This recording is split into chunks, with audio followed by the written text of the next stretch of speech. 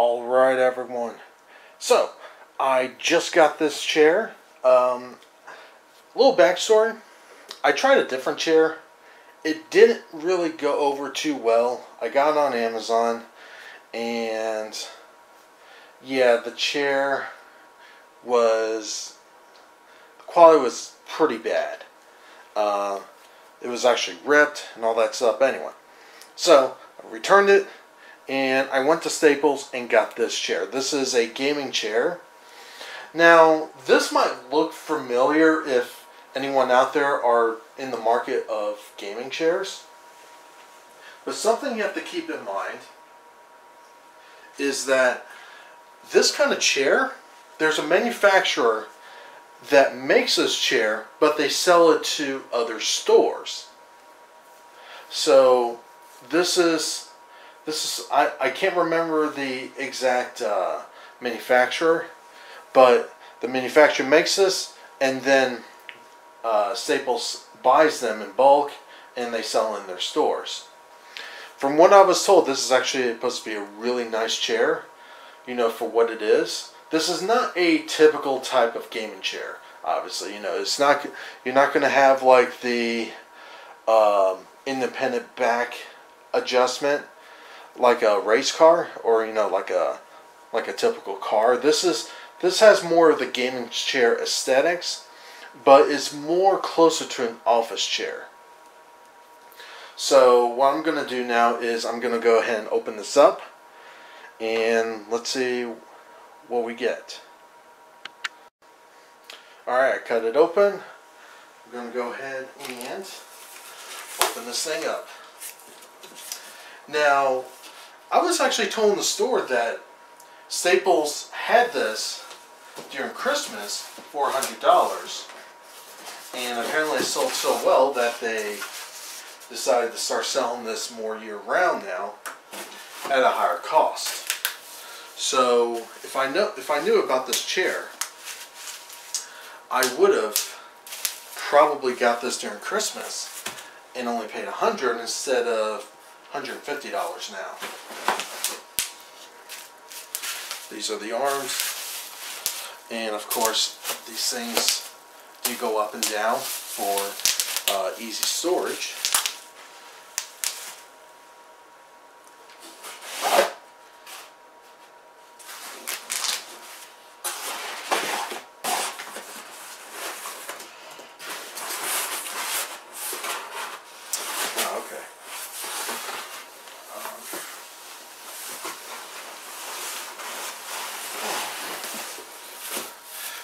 Bottom part.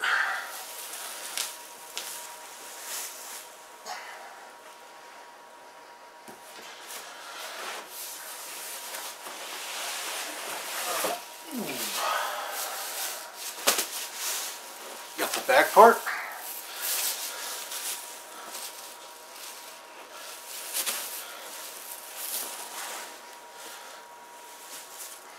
I'll say one thing though, this chair is a lot heavier than the previous chair I tried out.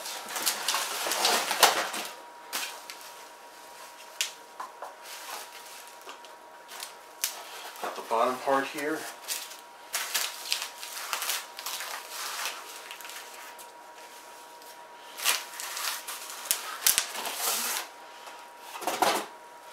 I'll just set that back there.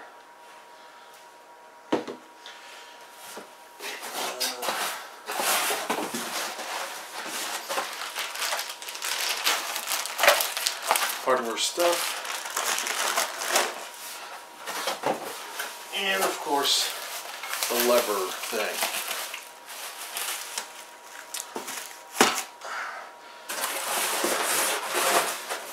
Alright. This box is empty. So I'm going to go ahead and put this thing together and I'll get back to you. Alright everyone.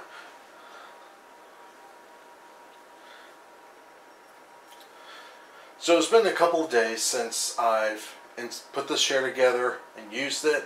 I wanted to use this chair before just ending the video right away. Um, I want I was originally just going to put the chair together and then just sit on it right away and then give my initial impressions. But I wanted to really use this chair just so I get a more realistic take on how this chair really feels. Now, if you're looking at the chair, you know, right now, this is obviously the black and red version. There's also a black and blue version, and I'm pretty sure there's other colors. Uh, but when I got this chair, they only had in two different colors. I got it in black and red, you know, since, you know, it kind of keeps with the theme of my channel and the theme with the inside components of my computer and with my car. Anyway, so black and red is what I went with. Now there are a couple of things about this chair that I really like, but there are a few things I'm not too fond of. But I'm still going to recommend this chair. So first of all, keep in mind this particular chair has that gaming look of a gaming chair, but it doesn't feel like a gaming chair.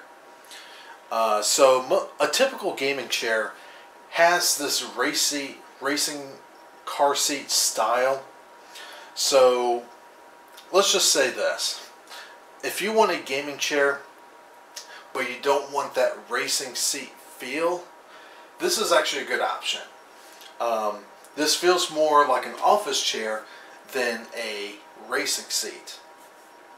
Now because of that, there are some things with this chair that you're obviously just not going to get. Uh, so a lot of the gaming chairs out there, they have, you can fine tune the uh, armrest.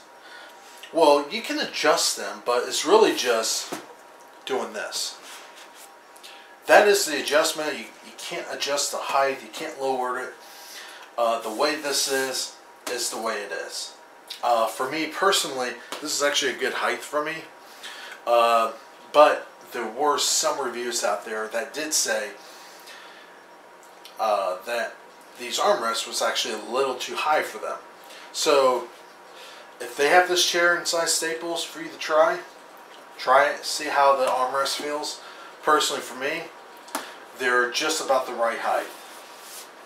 And I don't know how well the camera's going to pick up here, but my armrest is about the same level as my desk, which means when, when I have my arms on the armrest and then using the keyboard and mouse, you know, it's not going to feel like I'm either slouching over or going down like that. You know, it's going to be pretty flat, which is personally good for me.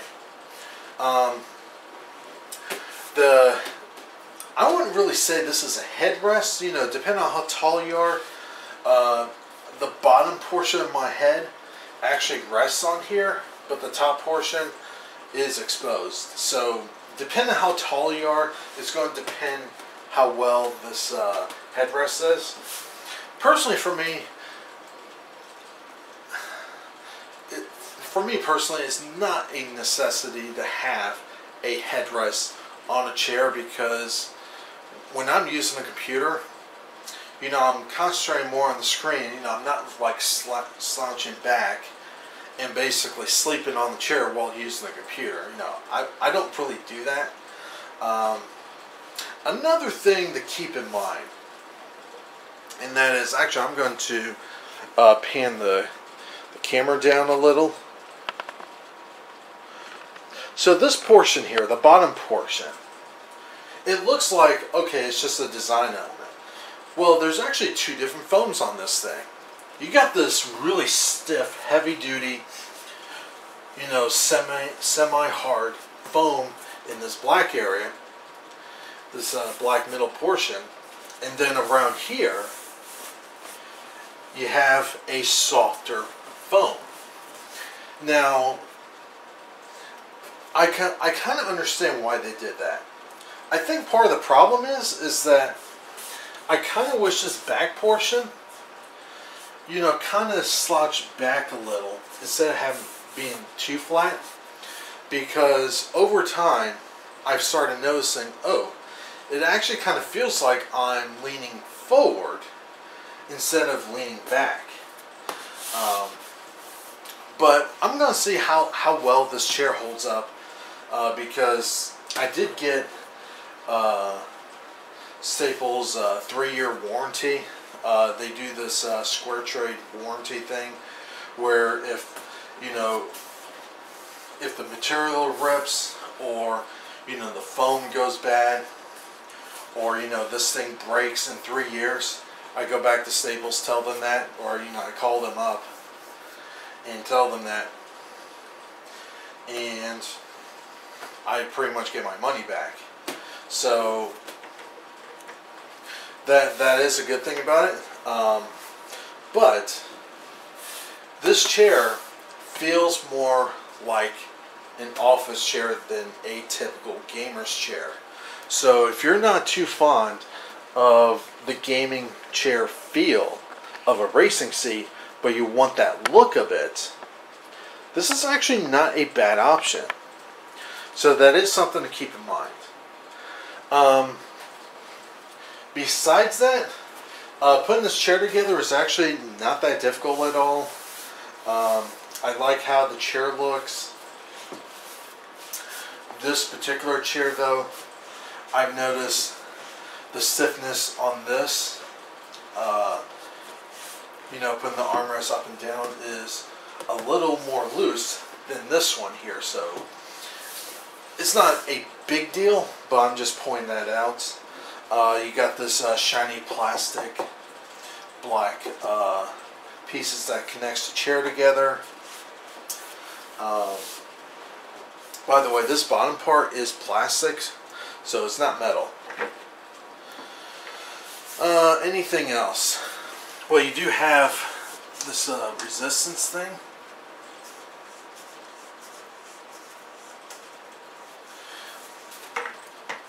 So, so yeah, I can actually stiffen the chair up. Well, stiffen the, the tilt back some to make it more stiff. Oh, speaking of tilt, um, this back part is connected to the bottom part. So the back, the back portion of the chair doesn't adjust independently.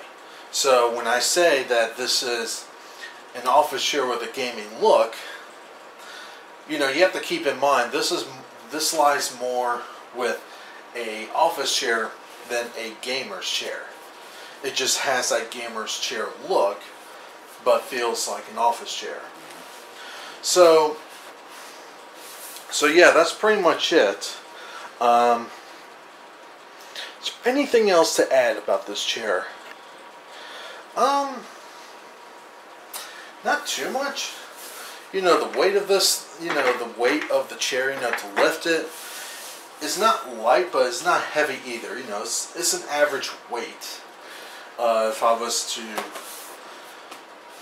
to classify this chair as. Um, though it would be interesting how well the foam holds up over time though because like I said before like this bottom part this foam is really really soft but the center part is really stiff whereas up here the foam is much stiffer but in the center is much softer so it's an interesting design how they've uh, put, you know, the, the kinds of foams they use. You know, the armrest, you know, is padded, so that is something to keep in mind, which is, you know, I'm not knocking that. You know, I actually prefer a padded armrest. But uh, this material is not leather. It's, you know, it's just, uh, it's basically just vinyl. So, not exactly going to be the most breathable material in the, in the world. But